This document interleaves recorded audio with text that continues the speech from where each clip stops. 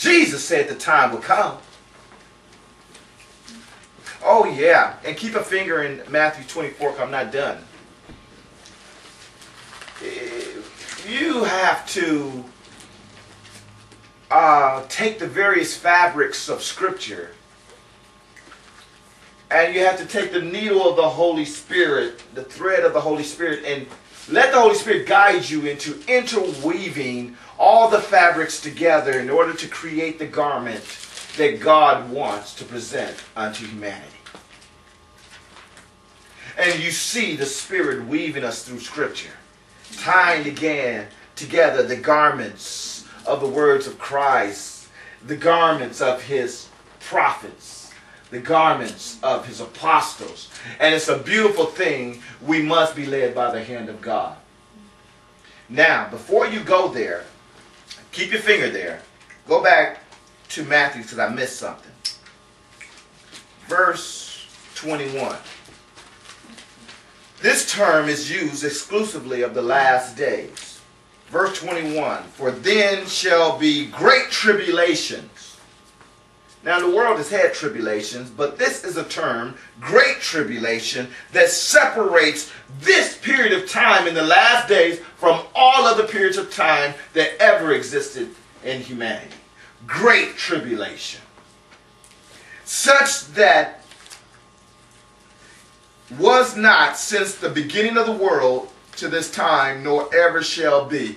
In other words, this great tribulation is going to signify the beginning of the end, and it is going to last until the end. End of the world as we know it, not necessarily the end of the world. End of the world where men reign, Satan reign over earth. At the end of the tribulation, Jesus becomes the King of Kings. He begins to take control of the world, and he then sits on his throne ruling the world without end. World without end. So all of these things is to sweep away the evil of man and Satan and usher in the kingdom of God. Keep a hold of that. Keep your mind on that. That is the purpose, is to let us see how Jesus will reign on earth. How he will close out man's dominance, Satan's period, his season of reigning and controlling and manipulating mankind and even trying to manipulate God, and how Jesus will set it all in its right place in the end. This great tribulation period must end or Jesus will never sit on his throne. It must begin or he'll never sit on his throne. So then we must know about it. How much of it affects us. Now, we go to Daniel.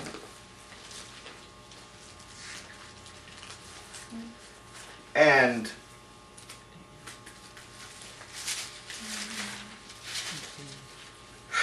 wow.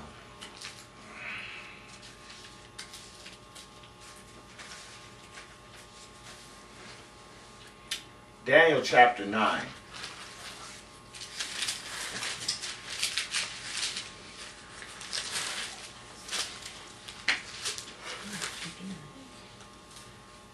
Now you have to understand Israel was still carried away into exile for their idolatry and for serving other gods and for their immorality and for turning their backs on God. And at the end of this exile, we see Daniel pray. For some reason, Daniel sensed that the end of the period of exile, of being carried away into Babylon, was coming to an end. And he says in verse 3 And I set my face unto the Lord God to seek by prayer and supplication with fasting and sackcloth and ashes. And I prayed unto the Lord God and made my confession and said, O Lord, great and dreadful God, keeping the covenant and mercy to them that love him and to them that keep his commandments we have sinned and have committed iniquity and have done wickedly and have re- rebelled even by parting from thy precepts and from thy judgments. And that's how they got into exile.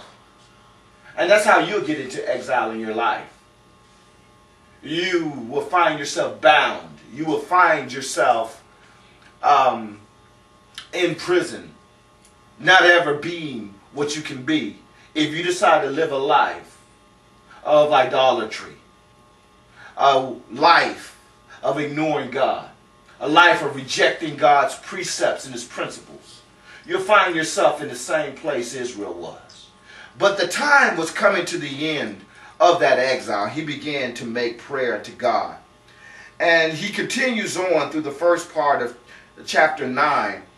Um, and he confesses sins of Israel, the nation, and even his own sins. And now he begins to ask God to restore Israel, uh, to rebuild Jerusalem, or to bring Israel out of captivity back into Jerusalem. He had enough sense to know through the prophets as he read the books that God would have mercy uh, after their exile and bring them back into their land. And it is for this that Daniel is praying. And as he continued to pray, uh, verse 20, uh, verse 19. O Lord, hear. O Lord, forgive. O Lord, hearken and do and do. Defer not for your own sake, O my God, for thy city and thy people are called by thy name. And while I was speaking and praying and confessing my sins and the sins of my my people Israel, and presenting my supplications before the Lord uh, my God for the holy mountain um, of God, while I was speaking in prayer, even the man Gabriel, the, the our, our super angel uh, Gabriel, uh, whom I had seen in a vision at the beginning, being caused to fly swiftly, touched me about the time of the evening oblation. And he informed me and talked with me and said, O Daniel, I am now come forth to give thee skill and understanding. Young men and women, you should pray for skill and understanding. At the beginning of thy supplications, uh, the commandment came forth from God. As soon as we start praying, God hears. Uh, and I am come to show thee, for thou art greatly beloved. Therefore, understand the matter and consider the vision. Verse 24, and this is why we call it Daniel's 70th week. 70 weeks are determined upon thy people, determined upon thy people. Within these 70 weeks, it's going to all be worked out. It's going to be done after these 70 weeks. So if you can understand these 70 weeks, you can understand what God's going to be doing upon thy people and upon thy holy city to finish the transgressions. Ooh. Listen to that. 70 weeks are determined upon thy people, the Jews. And upon thy holy city, Israel, to finish the transgressions. I'm going to seal and bring to an end your transgressions. You keep mounting up